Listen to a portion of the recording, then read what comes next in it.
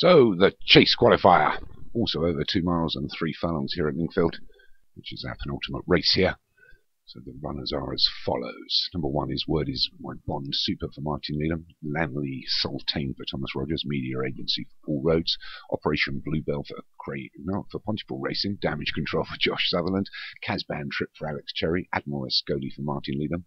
Baylow Class for James Shea. Avon Exotic for Stu Gray. Top Shelf for Craig Beckwith. Monumental Madness for Paul Rhodes. Brilliant Melody for Alex Cherry. Coralia Dobrovny for Thomas Rogers. Mandolin Natter for James Shea. And the Valley and Ronkino for Obi-Wan make up 16. Over two miles shy of a half. Starter's got him away. Straight into the first. Oh, we've lost one. Straight off the first. Brilliant melody's gone for Alex Cherry. Unlucky. That one comes pretty fast. Small ditch. And we've lost another. This time it's Langley Sultane that's gone. So we're two down after the first two fences. And we're being led by Mandolin Natter. So Mandolin Natter leads by a couple from Lily of the Valley. Your word is my bond super. Course up against the fences, Alex Cherry's other runner, Casban Trip.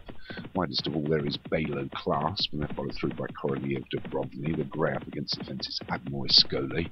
And links back to Avon Exotic, Monkino and the Yellow Silks on the outside.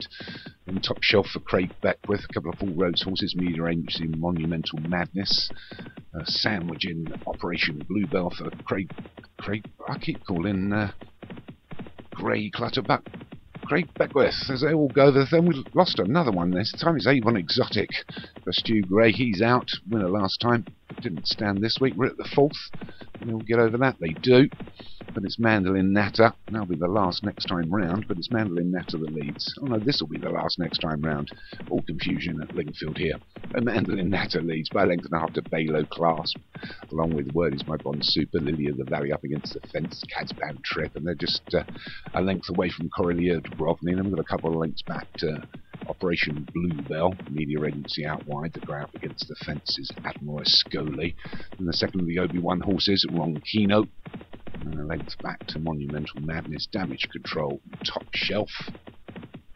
But it's Mandolin Natter that still leads us. By length and a half to Lily of the Valley.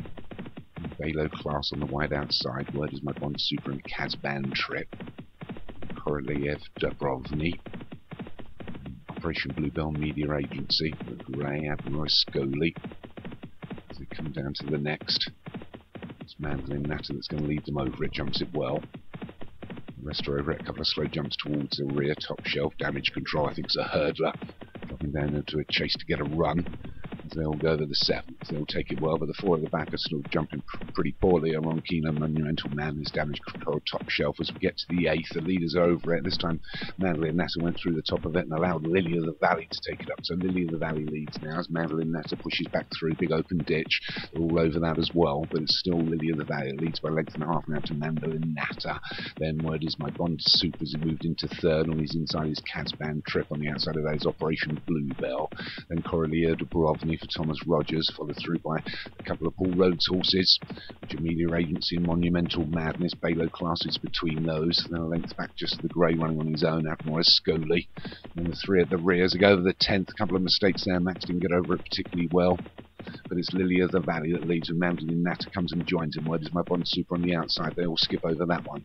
So we're three to jump, it's Mandolin Natter and Lily of the Valley. Word is my Bond Super. Length back to Koroliev Dubrovny. Media Agency's moved up well. Baylow Clasp is still there. But up front, it's Mandolin Natter that just noses ahead now from Lily of the Valley up against the Row.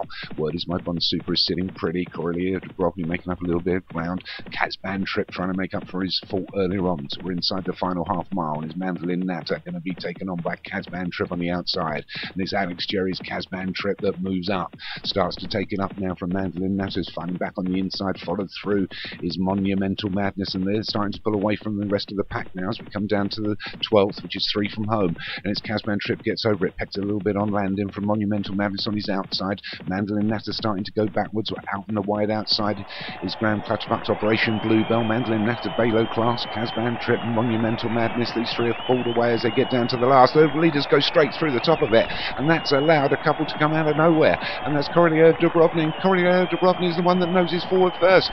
From where is my Bond Super, and it's Koroliev Dubrovny that's stolen this from mistakes at the last. And it's Koroliev Dubrovny wins it by a good couple of lengths. Fast finishing uh, Word is my bond. top top shelf. But it's a good win there for Thomas Rogers with Korolev Dubrovny. Qualifies for the final. Word is my bond super got up for second. There's a steward's inquiry. There was a bit of jostling getting through there. It will be a shocker if Korolev Dubrovny's lost it. Let's wait and see. I haven't seen many DQs in SO7. No, he hasn't. He's taken it. Korolev Dubrovny takes it Thomas Rogers. Well done. Word is my bond super. Top weight for Martin Needham was second. Balo class for James Shea was third. Top Shelf for Craig Beckwith was fourth. Monumental Madness for Paul Rhodes was fifth. And the two leaders, which were Mandolin Natter, I think, at that time, and Casbah and Trip, who both went through the top of it, finished nowhere. So just move on to our last race from Lingfield. And we'll move on to the Hunter Chases.